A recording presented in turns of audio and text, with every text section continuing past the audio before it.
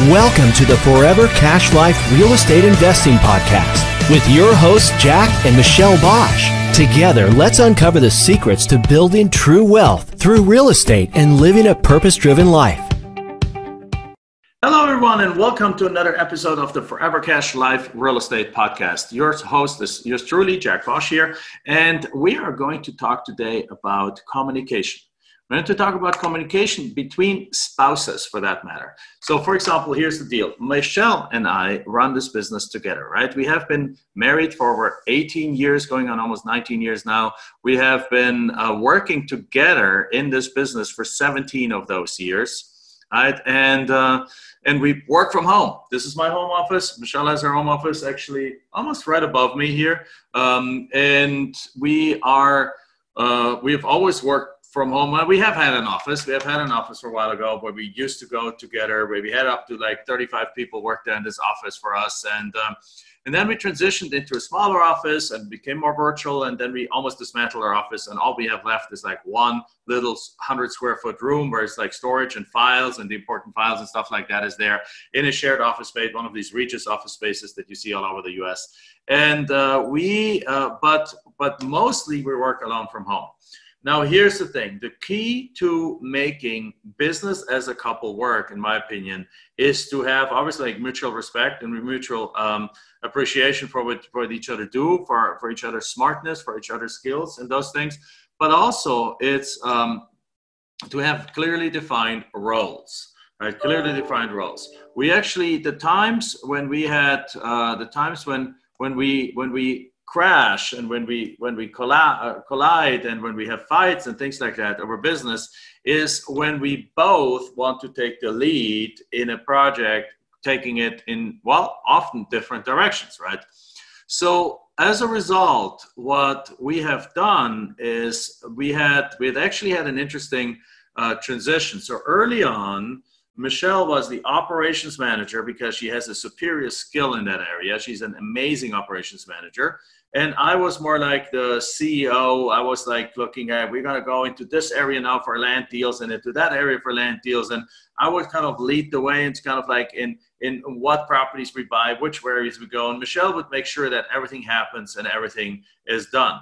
However, here's something that happens over time that actually burned Michelle out because even though she's very, very good at it, she's not from her heart a operations manager. So now actually we swap those two areas, and now she is the one with the vision, and she is the one uh, being in lots of masterminds and lots of things like that, and, and, and, and really expanding her mind about the possibilities of what we can do. And I'm the one making sure things are actually happening.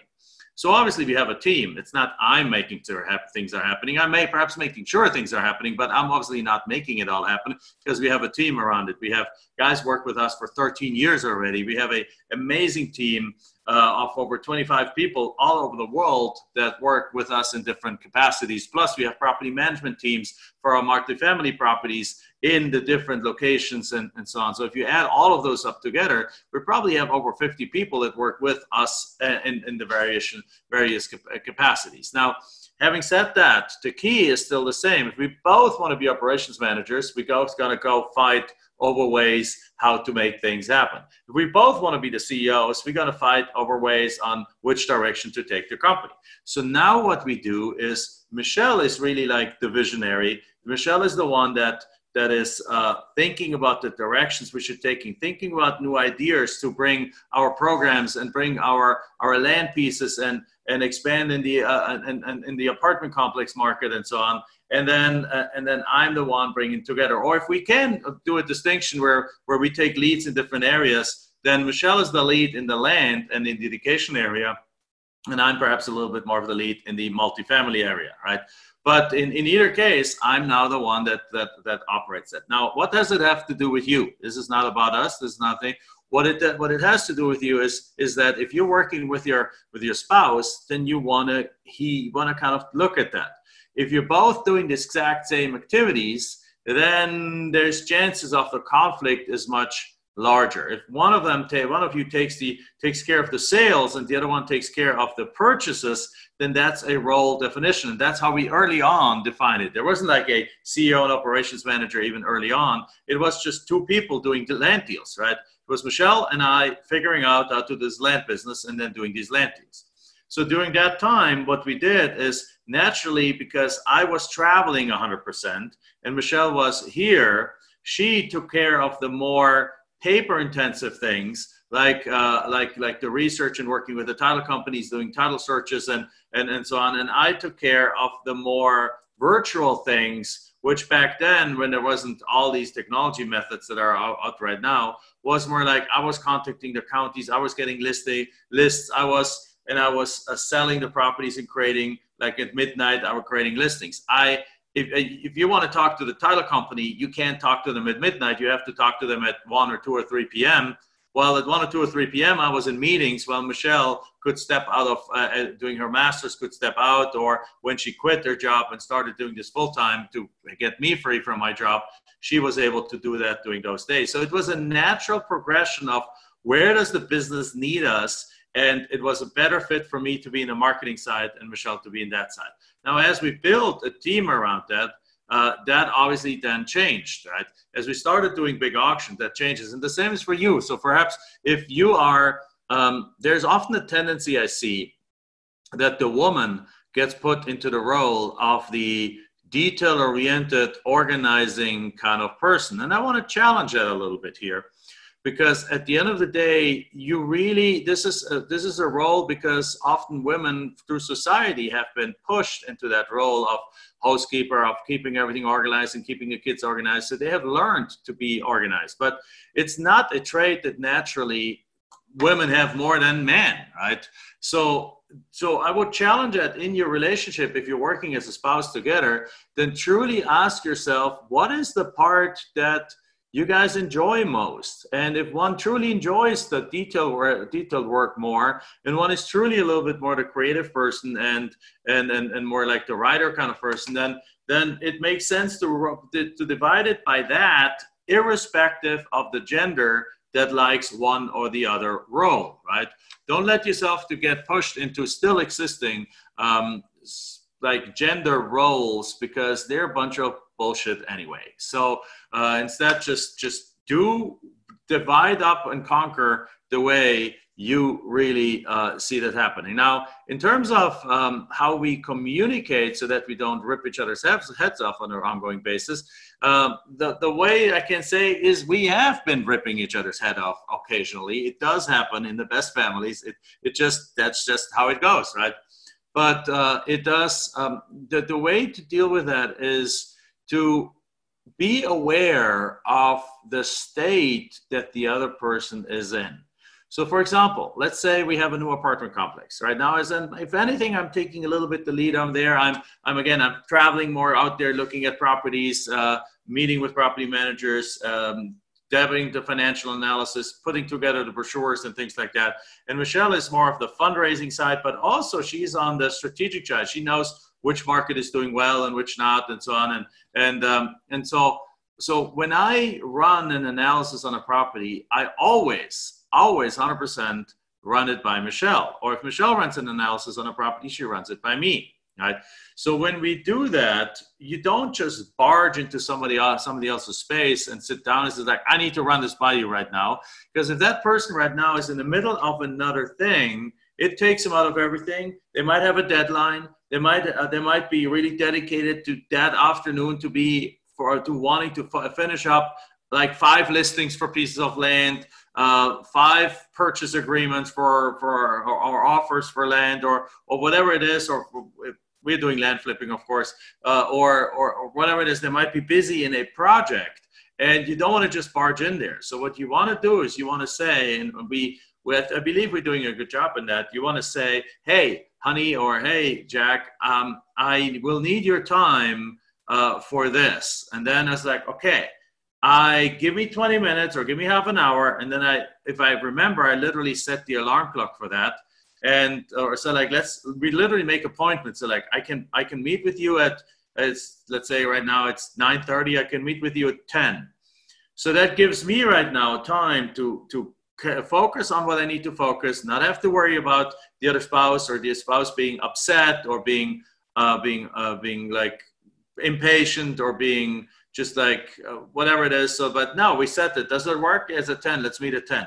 So now you have an appointment. And just like you have an appointment, everyone else, you honor that appointment, in this case, with your spouse. So you have the appointment and you give the other person the full attention.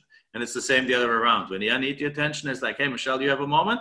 She's like, no, I'm in the middle of something. Okay, so how about we meet in 45 minutes? I can, and uh, so 45 minutes uh, comes up. I send a quick message, hey, we're meeting in five minutes. Literally, like I would meet with a coworker. And then I said, like, okay, come over. Here's what I want to talk to you about.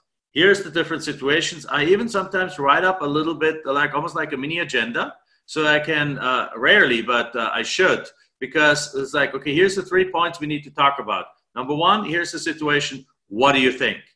And then what she thinks is usually just as smart, if not smarter, than what I think, right? So therefore, I'm listening. Uh, it helps me think. It helps me. Th- I, I, bring I, I bring back what I what I understand. I hear, and and and, and then we we work it through we come up with a with a mutual agreement that okay this is the this is the solution this is what we want to do so we do it. And that that kind of way to communicate works really well starting from a small parenting issue. It's like hey we have the following situation. Our daughter is doing boom boom boom. How do we fix this? Instead of like fixing it in the moment when we're upset and yelling at our daughter which of course we never do right? Uh, but uh, in reality it happens right? You, you just like uh, get frustrated. And um, or or is it uh, but if we can catch it early we can say like okay let's work out a plan that when when we are even even we bring her in into the family it's like we figure out a plan. We're not happy how things going on. You're messy. Your stuff is laying around and so on. What do we do? Can we dedicate every afternoon 10 minutes for you to clean up your stuff? It's like yes we can. Okay great. And then it's like if we do it you get the reward. If we don't do it there's no candy today right? Okay, and then you can make it kind of like that. Now, of course, taking away the candy from your spouse might not be a good idea. So you want to treat them as an adult, of course. So, so therefore, when, when we have those meetings, when we're like, okay, we, we got to plan out the week, we got to plan out, uh, we have this invitation there, we have that invitation there. So we, we coordinate our schedules. It's like, you know what, I don't really, I can't go there. Uh, uh, I, I don't really want to go there, whatever it is. So we, we can we can make these adjustments. And on the leadership side of things, it's the same thing. You like you ask yourself, you have the meeting, you have something like, okay, I really I see this opportunity. I see this opportunity. I'm really good at seeing big opportunities. And I see them on a daily basis. That means if I would do, if I would act on every single one of them, we wouldn't be we would be active in 10,000 different areas and not making progress in any one of them. So when I, we now have a pro- process, if I see an opportunity, I go and put it on a list, and then I have a meeting with Michelle where I talk to her about it.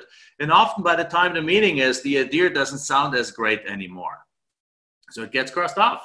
And then we can talk about it, and then uh, and then we look through the ones and identify to the process the ones that have true true merit. Then we ask ourselves the question: If that decision, if that going down that rabbit hole is going to prevent us is going to cost us on another thing. What's the opportunity cost of it? And the opportunity cost is a concept that was being taught in business school that basically says that you can't do two things at the same time. If you go, if you go, if you have two appointments and in one evening and they're both at the same time, you got to choose. So if you go to this one, the opportunity cost of that one is not being able to attend this one. Right? So if you take one, if you jump on one, if you take one job, you cannot take the other job if you have two job opportunities, right? So the opportunity cost of this job is not being able to do that job. And the opportunity cost of one business opportunity is not give, being able to give your fullest to another opportunity, uh, and that therefore will will this one will suffer underneath underneath it if you take if you go for that one. So you want to evaluate those things, and that only happens in the spirit of cooperation, the spirit of respect, and by you being able to allow your spouse to shut down ideas that you enthusiastically come forward with. But in the past, initially, Michelle would shut down my ideas, basically say like, "No, this is crap," and that would hurt my feelings. So, like in a sense, right? It would. Uh, And um, and now I'm like a touchy feely guy, but it would say like, oh man, it's just like I'm not being appreciated and so on, right? And so, but since since we talked about that, the way we now do this is we basically talk about it, and then the question comes up: Okay, how much potential does this idea have? How much uh, can it really produce for us? How, what, what, what, how will it affect our life? Our life with the, with the important things in our life, with our time, with the time with our family, uh, with our, uh, will it bring us closer to what we want to do in our life? Will it bring us closer to our financial goals? Will it bring us closer to our, uh, to our happiness goals? And if the answer is no, then even though it might be a valid idea, it will not be done. And then I'm actually at peace with not doing it because it's it's just doesn't make sense. So again, going back to how do you solve that? First of all, in summary, you got to have different roles in the company. It's got to be very clear who is the who is the visionary entrepreneur, kind of the, the CEO, and who is the implementer of your company. Now, again, and that can change over time. Initially, I was the visionary CEO, Michelle was the implementer. Now, Michelle is the visionary CEO, I'm the implementer, right? You see me more on videos than you see her, but she's, she's now on many more videos, as your own video channel, as your own podcast, and so on. But, uh, but, but that's how the transition that we have made so that she wouldn't get burned out and I actually, uh, to a large degree, enjoy these activities. Even though I'm naturally not the implementer, I'm going there because I'm actually, um, yeah, because I'm actually enjoying a good part of it. So um, then uh, the, and then when you have, when you, when you, when you ask for each other's time, do it in a way that you don't barge in. Do it in a way that's respectful. Do it in a way that allows the other person to finish what you're doing so that they can turn around and give you their full attention, right? That's, that's what you want to do and then when you um, when you when you make major decisions in life and major decisions or even uh, yeah major decisions then then make them together evaluate them from all different angles look at them together in the in the light of what trajectory are you on in your life and what trajectory uh, and are those items going to help you in that trajectory of your life or are they distractions that you really rather should be getting rid of and it's the, so you can focus on the number one thing that matters most, whatever that may be in your life, right? So these are the, some of the things that um, that we that that we talk about. Also, in a sense, um, for example, I'm uh, becoming a little bit more of a morning person than I was. So I'm now the person bringing my daughter to school every morning. That's a role uh, role differentiation that allows Michelle to take a little slower morning, which is something she needs in order to be at her full full full capacity and full full um, full potential right and i enjoy driving spending the time with my daughter bringing her to school and then having about a 20 minute drive on my way back because she goes to school a little bit further away having that drive home where i can listen to an audiobook where i can listen to um, to where i can do a few already a few phone calls and already get to the get to going because you also want to know, and that's the last thing I cover, you also want to know each, uh, each other from your personality or from the way you, you operate in this world. For example, I'm a quick start. So there's this test that we take, and everyone in our team takes. It's a Kolbe test. With K, K O L B E. And they take the Kolbe A test, which costs about $49. And uh, this test tells you in four areas of your life how you take action. Well, the, the way it, it turns like that I take action is by literally taking action. So the mornings when I wake up, the first thing I want to do is take action. So I take action by taking my daughter to school. I take action by doing a few phone calls, by listening to some to some audiobooks and things. So by the time I come home, I am now ready to listen. I'm ready to to now spend time with Michelle and listening to her things. At the same time, she is a taking action by doing research, right? So she's might be spending that time doing some research and so on. So I can come in with her in the morning at 8 a.m. with a meeting with a bunch of stuff. No, it needs to be researched first. So so so et cetera, et cetera. So by knowing each other and your own tendency and your own needs, that also you adjust your daily schedules for that and you find that time in the schedule of the day we're both at the at the best we're both at time to already get the things that are important to each other done and then you meet and then you talk about things and then you can discuss those with a few tools around them like for example that parking lot sheet for the for my crazy ideas um, like uh, a, a, list of research that needs to be done to to uh, to to cover Michelle's idea, uh, cover Michelle's needs, and so on. And then we get, and then we come up with two reasons, uh, with with really good uh, decisions um, that that we then, in mutual agreement, can move forward with. That doesn't mean that we both do the same role. That means in our in the moment, I'm the implementer with our team. Obviously, our team implements most, but I'm the one making sure it's being implemented. And Michelle is is finding these great new ideas for us to drive our business forward. Right. So with that said, I hope that helps uh, um, understand a little bit how you communicate, how we can communicate as a couple without killing each other. And then one other thing we do is we try to do occasionally, we try, we, we try to do, we actually go out eat a lot. And when we go out eat, we do one thing. Everyone takes their phone and puts it in, this, in the middle, and everyone, all the phones go together. So if grandma's with us, my parents are, all the phones go in the middle. We're doing what we call a phone stack, and then the phones are stay away for the length of the dinner. Right, and during that time, that gives us now time to talk about things and to talk about usually sometimes business, but not business if our daughter's with us, and, and to just enjoy each other's presence outside of a business environment. All right, so with that, hope they enjoyed that. Um, this is one episode of the Forever Cash Life Real Estate Podcast. This one wasn't about business, but at the same time, it was because if you work with your spouse, which a lot of our students work with their spouses, then it's very important to, to build those boundaries, to build those communication methods, so that you can so that you don't hate each other after a while but you can actually love each other more and are more successful together. All right with that bye bye again if you enjoyed that give us a thumbs up. Um, give us share it with your friends share it uh, on social media so we can have more viewers of our forever cash life real estate podcast. Thank you very much. Bye bye Enjoyed this episode? Then make sure you like, subscribe, and post your comments and questions below the video. We're looking forward to hearing from you.